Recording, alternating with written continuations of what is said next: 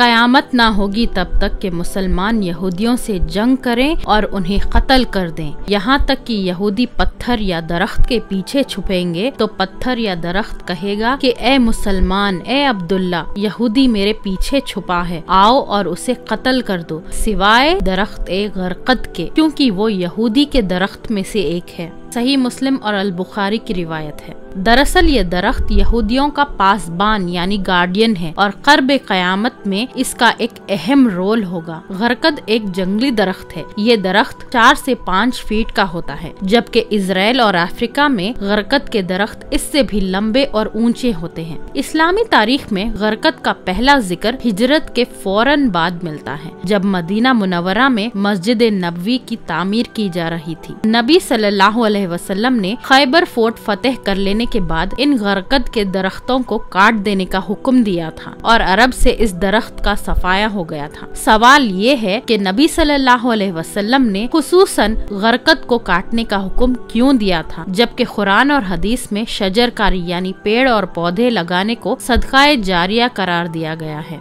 अबू हुरेरा से रिवायत है, जो कि मैंने इस वीडियो की शुरुआत में बयान की, सही मुस्लिम और अल बुखारी की हदीस, जिसमें दूसरे पेड़ और पत्थर मुसलमान को कहेंगे कि, ए मुसलमान, ए अब्दुल्ला, ये यहूदी मेरे पीछे है। आओ और इसका कत्ल कर दो, सिवाय शजर गरकद के, क्योंकि ये यहूदियों के दरख्तों में से एक है। और यही वजह है कि मुफसरीन ने शजर गरकद को, शजर यहूद और गुंगद दरख्त को दज्जाल का साथी भी करार दिया है। इस दरख्त को ईसाई किताबों में, खास करके इंजील में, शैतानी कुतों का दरख्त भी कहा जाता है। चाहे कोई माने या ना माने, लेकिन यहूदी लोग अपने मज़हब से ज़्यादा इस्लाम की सच्चाई पर यकीन रखते हैं। उनके स्कॉलर्स और रिसर्चर्स कुरान और हदीस का मुताला करके अपनी तरक्की का रास्ता खोलते हैं और मुसलमानों की कमज़ोरी पर गिरफ्त करते आ रहे हैं। यही वजह है कि यहूदी आज भी गरकत को अपना पासबान दरख्त मानते हैं, जो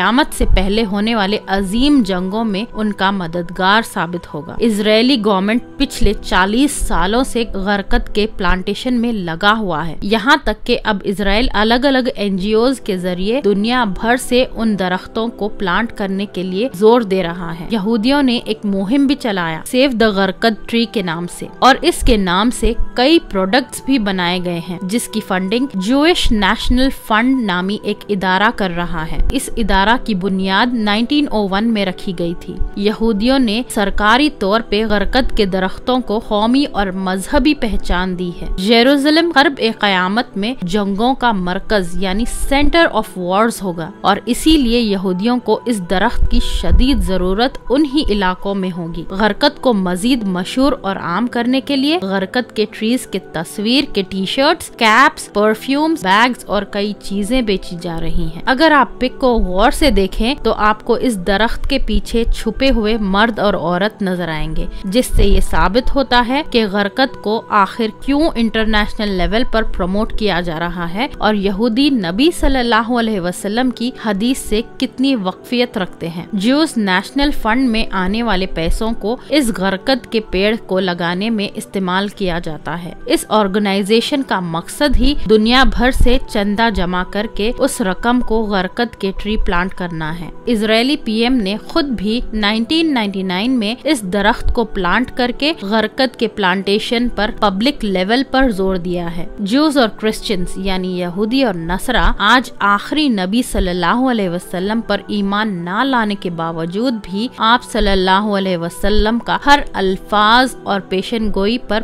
पुख्ता यकीन रखते हैं। बहैसियत मुसलमान हमें आज खुद से पूछना चाहिए कि क्या हम आज खुद को मोहम्मद सल्लल्लाहु सल्लल्लाहु अलैहि वसल्लम की उम्मती कहलवाने के बावजूद, क्या आप सल्लल्लाहु अलैहि वसल्लम की तालीमत पर अमल करते हैं? क्या हमारा दावा सिर्फ़ नबी से मोहब्बत और अकीदे के हद तक ही महदूद है? या हम आप सल्लल्लाहु अलैहि वसल्लम की तालीमत और सुन्नत पर भी अमल पैरा हैं? और ये कि आज हमें चाहिए कि हम इस्लामी तालीमत के साथ साथ हालात हजरा पर भी वक्फियत रखें और अपने दीनी ईमान को बचाने के लिए यहूदियों और दज्जाली फितनों से कुरान और हदीस की रोशनी रोशनी में आगा रहें। अगर आपको हमारी ये वीडियो पसंद आई है तो प्लीज़ लाइक शेयर कमेंट और सब्सक्राइब ज़रूर करें। जजाकल्ला खैरन कसीरा।